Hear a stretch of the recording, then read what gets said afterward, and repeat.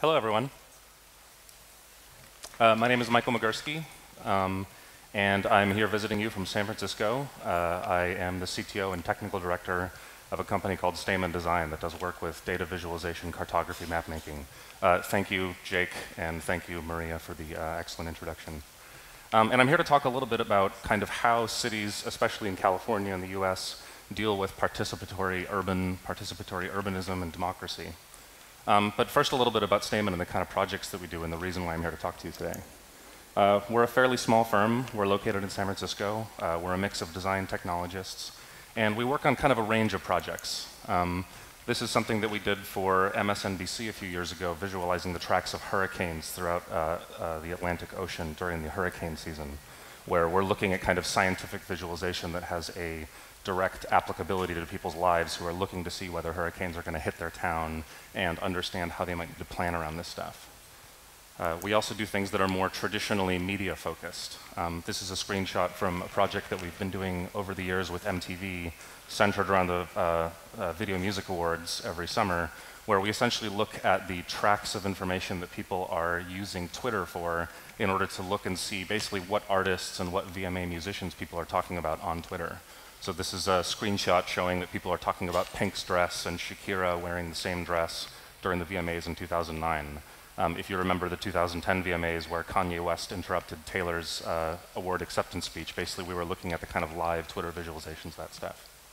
Um, and then finally, we do projects for companies like National Geographic. Uh, we did an iPad application that allowed people to navigate the Collegiate Atlas um, uh, that the National Geographic publishes for college students. Um, but I'm actually wanting to come and talk to you from a slightly smaller platform, which is the city where I actually live across the bay from San Francisco. Um, it's called Oakland, California. Um, it's just across the bay.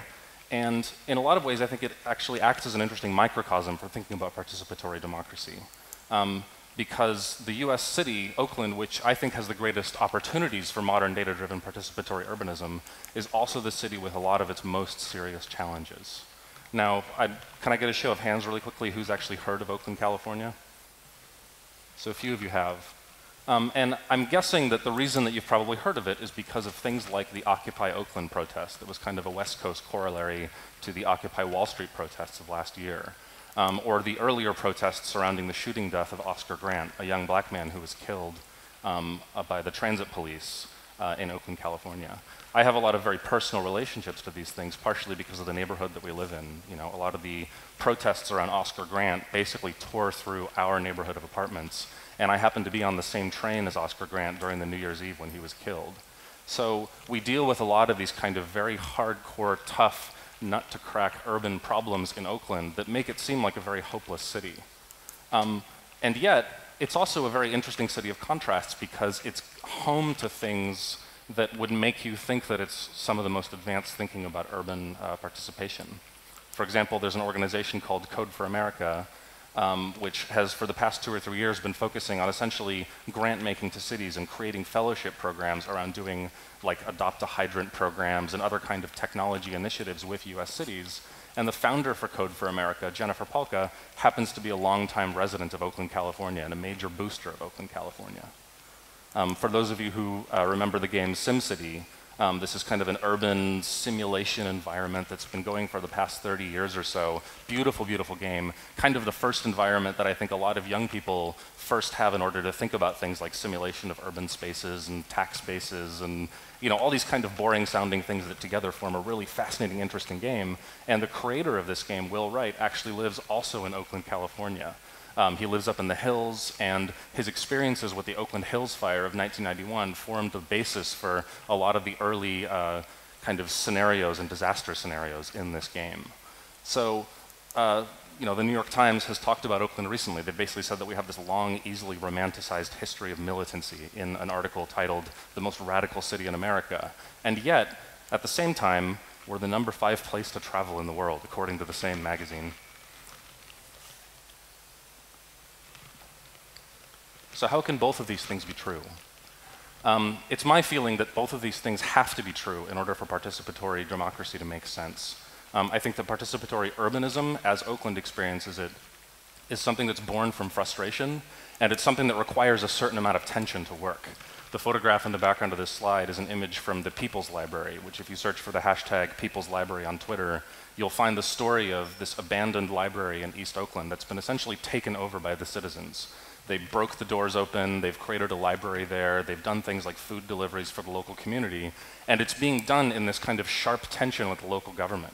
I think it's a very different story in cities that aren't New York, where you have to think about kind of how you actually interface with the government. I think places like New York and places in Europe have a very, um, I would say, almost more easygoing relationship with government, where essentially when the people express a desire to do something, government is there to kind of help them and work with them.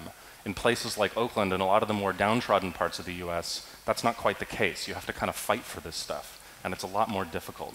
And I think that that happens in kind of two ways. So I want to talk about two projects that we've been involved in over the past few years that I think illustrate this from different angles.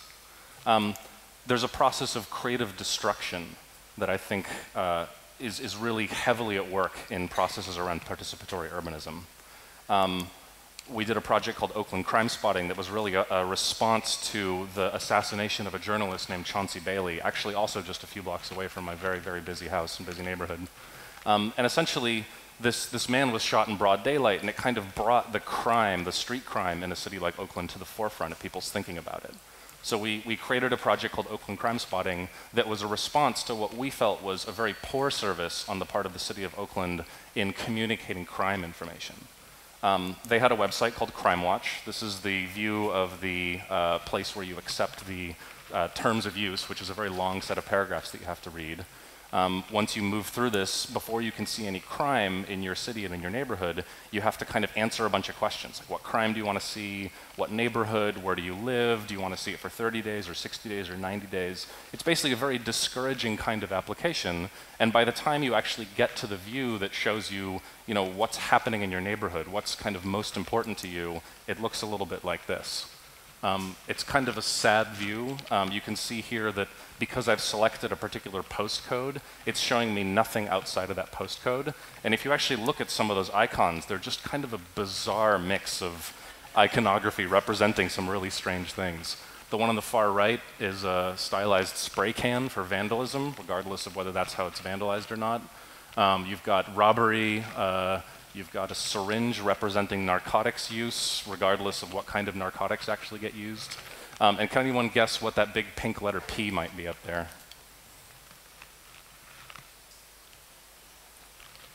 Very good, prostitution.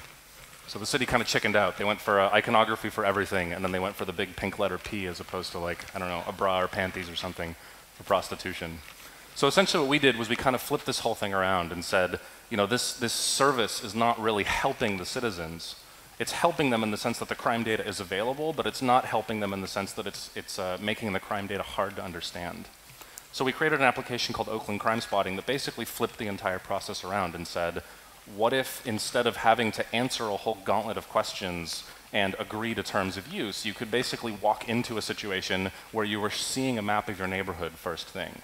So this is a view of uh, Oakland crime spotting. What you can see is we've gotten rid of a lot of that kind of tedious iconography and replaced it with a more kind of supple and reactive and interactive environment. So this whole map can be moved around.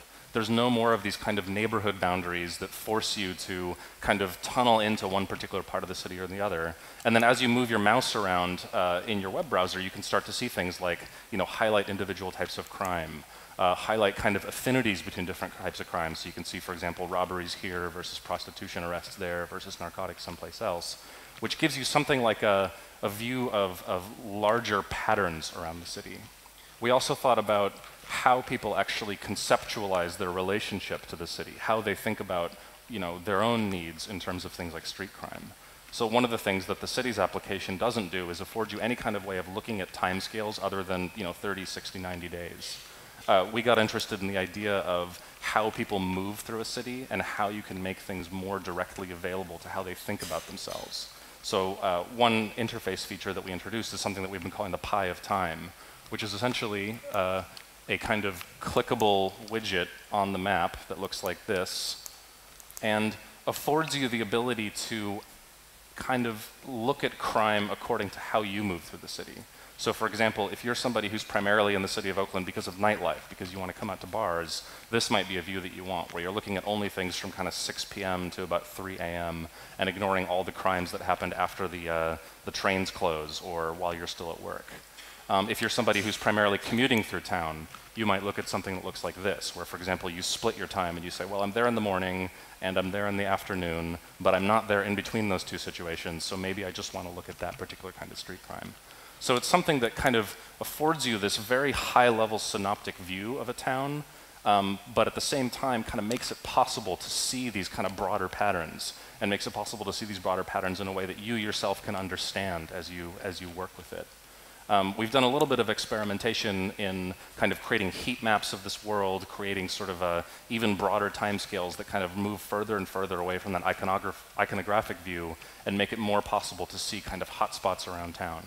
But the most uh, rewarding part of this has been actually not this kind of technology and not this kind of response, but something more like what our friend Simon Waddington from downtown has said, which is he's talking about the Neighborhood Crime Prevention Council meetings. That's what NCPC meeting uh, means here. And essentially, what, what he's talking about is a world in which he's showing up to these meetings with police uh, actually informed ahead of time they would have these monthly crime prevention council meetings, and there would always be this kind of troubling dynamic that they would have with the police, where the police would come and sort of, you know, bring a, a sheet of paper that showed how many uh, vehicle thefts or how many robberies there had been in a neighborhood, and the residents would have to respond to that information and learn that information for the very first time in the context of the meeting where they're supposed to be talking to this beat officer about how to actually mitigate this stuff. So they're learning about it, having to kind of process and respond to it, maybe with just the small subset of people that are in that meeting, and it's a very inefficient sort of process. When you can make this data more available for people on a kind of regular basis to get comfortable with before one of these meetings happen, suddenly you have a totally different dynamic where they can actually go in with their own historical analysis as a group of neighbors. And when they meet with this police officer, who's you know maybe got an hour, maybe two to spare, not a whole lot of time, they can immediately jump forward and use this data from the city in a way that will actually give them some kind of I don't know. Uh, conversational basis with the police, some sort of way to move forward into uh, kind of solution talking rather than just problem talking. And I think it really kind of gets to the heart of what it means to use a city as a platform, as both Maria and Jake talked about. And for us personally, especially when we think about city data, we think that the city as a platform is really a shorthand for this idea that a government, a city government, wants to actually be a platform. Being a platform is a thing that cities are good at. It's not a new concept, it's a new term, but historically, cities have always provided a platform. They've always done things like provided, you know, police services and then the taxonomies of talking about crime and talking about location, dividing the city up into districts and kind of providing for a common language that people have to actually relate to each other about this stuff. So to me, city as a platform basically uh, gets to the heart of what governments do best and what city governments do most effectively. So that's a bit of creative destruction. I think there's, there's another aspect to this kind of two-sided relationship that people have with a city government like Oakland, which gets more into kind of creative construction of new data. And what I want to talk about is a project called OpenStreetMap. Um, hands up, anybody who's not ever heard of OpenStreetMap before? Oh, good. so if you're, if you're not familiar with OpenStreetMap, essentially it's sort of like Wikipedia, but for street data. So they've got armies of something like half a million uh, volunteers all around the world that are walking around with paper maps, clipboards, GPS units, bicycles, basically creating a complete map of the world based entirely on user submitted data. And it started from a kind of interesting point of conflict in the UK.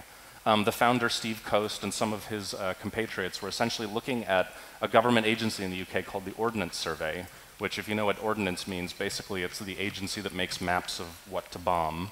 Um, and realizing that on the one hand, the Ordnance Survey was the creator of the best, most available, kind of highest quality geographic information in the country of England, and at the same time, it was charging the highest rates for it, it was uh, enforcing the most stringent crown copyright rules around it, and essentially making it uh, incredibly difficult to use. So Steve Coast's insight was that you could essentially empower people with things like GPS units and moving, move around town in order to crowdsource the creation of an entirely new map of the world.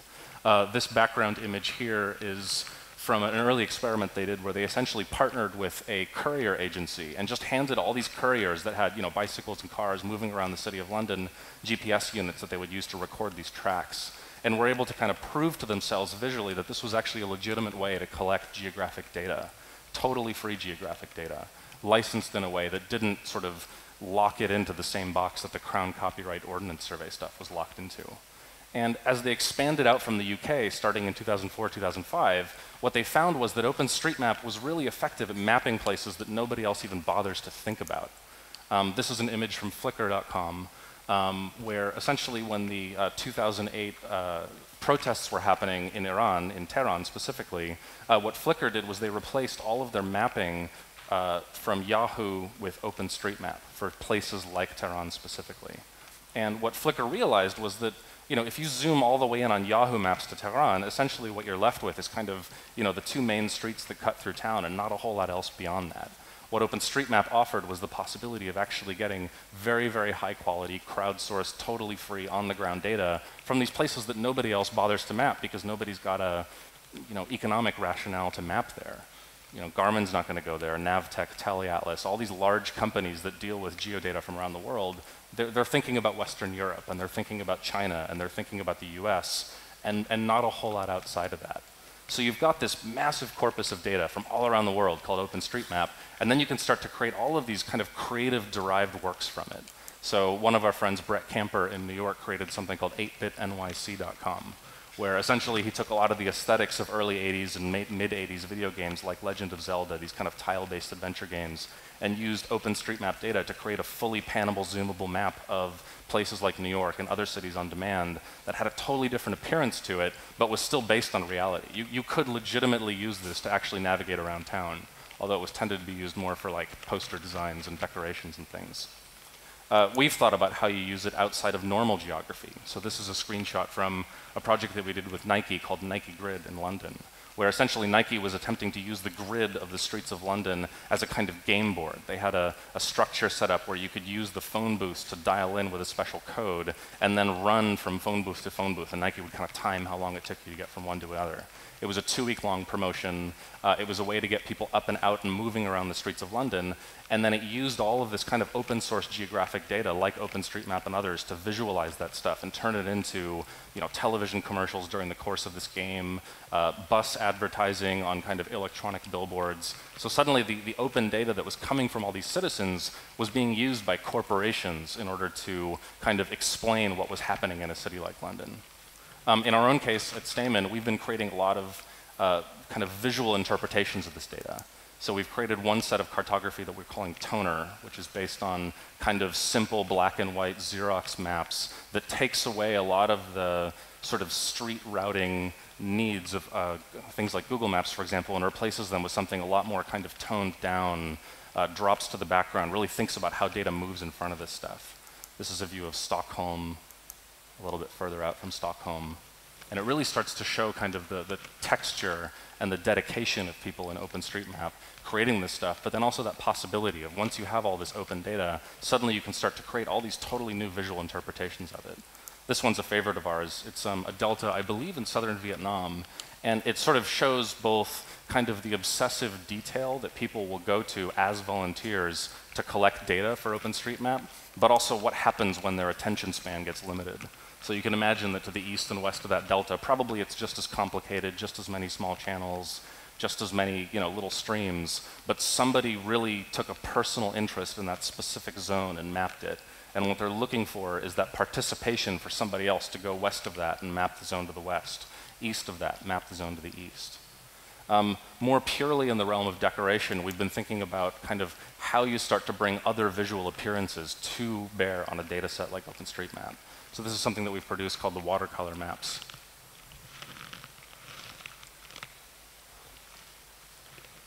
Again, that's a bit of Stockholm. This is actually Malmo. It's really, really well mapped in OpenStreetMap. And what watercolor is doing is essentially saying, what other uses are there for this kind of data? What can you do kind of when you need to interpret the data rather than just think about it as kind of a navigational structure or a way of you know, understanding the city for purely functional reasons? What happens when it becomes decorative or, or exciting or interesting or innovative to actually interface with this stuff, not for the need of you know, finding a, a I don't know, directions to a pizza place or something? So we've been finding a lot of people starting to use this stuff.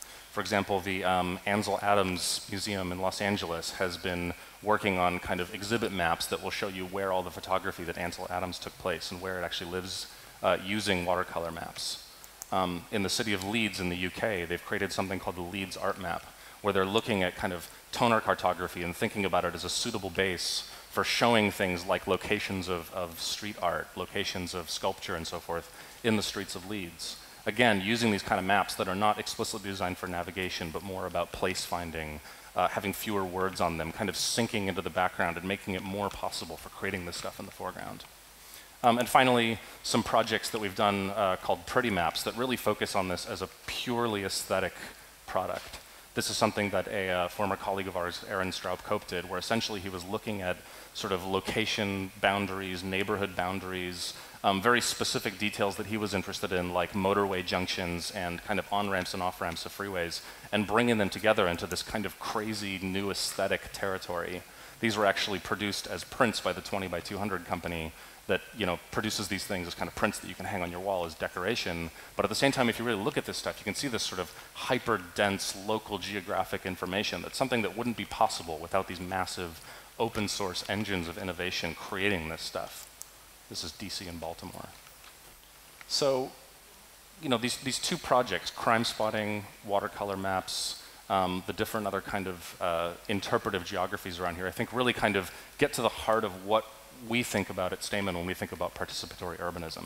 And in a lot of cases, what that really boils down to is this sense of conflict, this idea that on the one hand you can have a city that doesn't work very well being kind of augmented by its citizens using things like People's Library, um, creating things like Oakland Crime Spotting, where the city is actually starting to kind of realize that it's a platform because people are starting to treat it like one.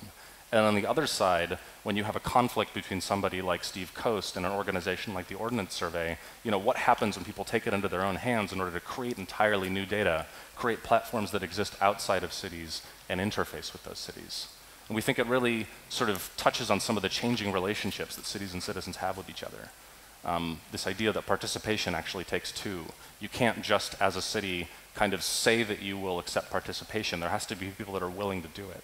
And by the same token, you can't, as, as a citizenry, create participation all on your own. So, somebody at that city level has to be able to kind of dance with you a little bit. Uh, change needs a certain degree of uncertainty. There has to be some kind of tension uh, baked into change that makes it possible you know, in our case with crime spotting, that tension was the tension between the availability of data and the way that it was presented. In the case of OpenStreetMap, it was the tension between the sudden desire for all this free data and all the new ways that it could be put into use that hadn't been imagined by the traditional owners of data, combined with this kind of strange crown copyright system they had in the UK. And I think that opportunity really feeds on that. I think it's really important to have that kind of tension and those conflicts and those kind of broken systems because it's out of those broken systems that a lot of the possibilities for new opportunity and new uh, interpretations of data come. So thank you very much.